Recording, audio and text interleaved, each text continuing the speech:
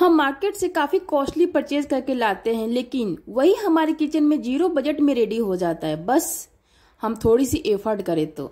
Hello दोस्तों welcome to my channel hope you are doing well दोस्तों, मैं यहाँ पे बात कर रही हूँ फर्टिलाइज़र की, कि हम अपने किचन में से बहुत सारे फर्टिलाइज़र बना सकते हैं और अपने प्लांट को देख सकते हैं अच्छे ग्रोथ के लिए। और दोस्तों, इस फर्टिलाइज़र को हम ओवरऑल सारे प्लांट पे दे सकते हैं। चाहे वो गुलाब का हो, चाहे मिंट का हो, चाहे आपके फ्लावरिंग प्लांट हो या फिर जो वेजिटेबल्स प्लांट होते हैं, उन पे भी दे सकते हैं।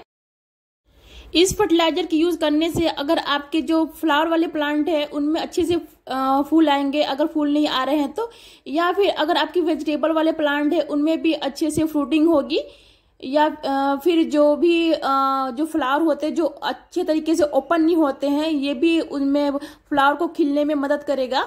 तो ये जो फर्टिलाइज़र है, दोस्तों, चलिए हम इसे बनाते कैसे हैं। मैं आपको फुल डिटेल के साथ बताने जा रही हूँ।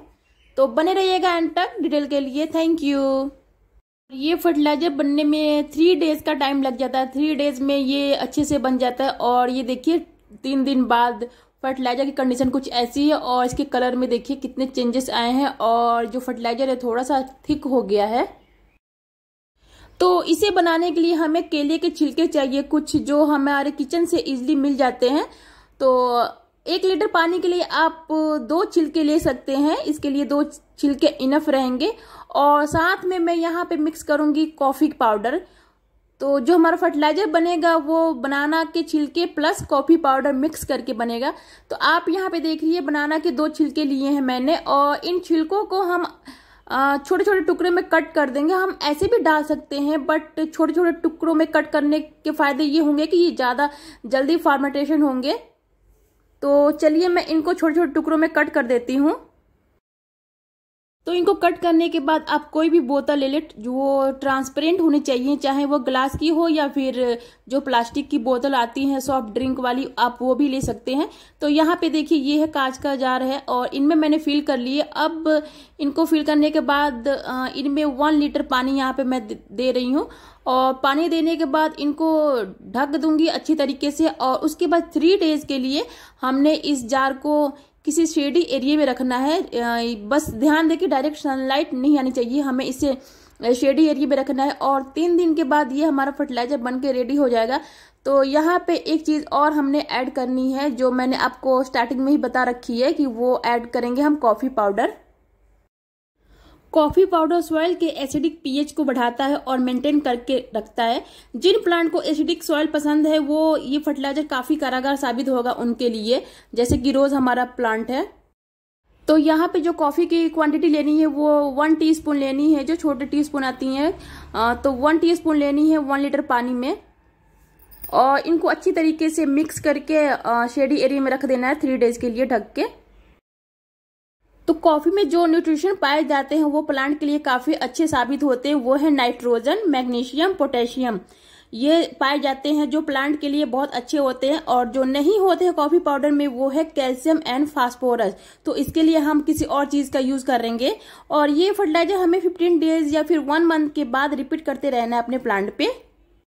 और कॉफ़ी पाउडर की एक और एडवांटेज है दोस्तों, जो कॉफ़ी पाउडर है, ये हमारे प्लांट को फंगल इन्फेक्शन से बचाता है तो ये ज़रूरी है। इसीलिए कॉफ़ी पाउडर बनाना पील के साथ मिक्स किया है।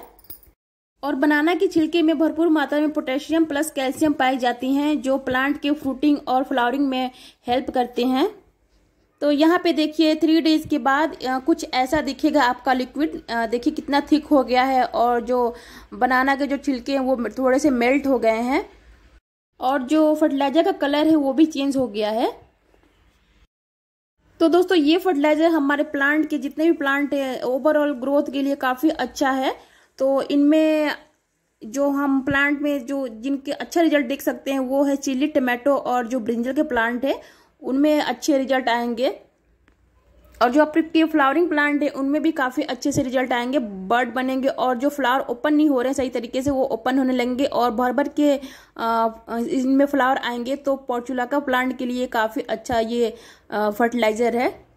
तो जितना भी लिक्विड फर्टिलाइज़र रेडी हुआ है, उनमें आप तीन गुना या फिर चार गुना पानी मिक्स कर ले। और उसके बाद एक काम और करना है दोस्तों इनमें वन टीस्पून आप फंजीसाइड ज़रूर मिक्स कर ले। या फिर आप फंजीसाइड की जगह पे हल्दी का भी यूज़ कर सकते हैं। तो देखिए ये मेरे फर्टिलाइज़र रेडी हो गए हैं और इनके कलर कितने चेंज हो गए हैं। ये थोड़े से कलर चेंज हुए हैं। इनमें मैंने हल्दी मिक्स किया है उसकी वजह से। तो यहाँ पे मेरी देखिए प्लांट आ, में थोड़ी बहुत इम्प्रूवमेंट देखने को मिल रही है।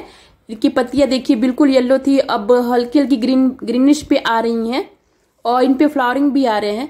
तो दोस्तों, आज के लिए बस इतना ही। आप भी अपने प्लांट में यूज़ कीजिए और फ़र्क देखिए, ये फर्टिलाइज़र आपने 15 डेज़ या फिर वन मंथ के गैप पे रिपीट करना है। तो आई होप दोस्तों मेरा वीडियो आपको यूजफुल लगे। अगर यूजफुल लगे तो प्लीज़ मेरे चैनल को सब्सक्राइब कर ले। अगर आप मेरे चैनल पे न्यू है तो और लाइक शेयर ज़रूर कर दे मेरे वीडियो को। Thank you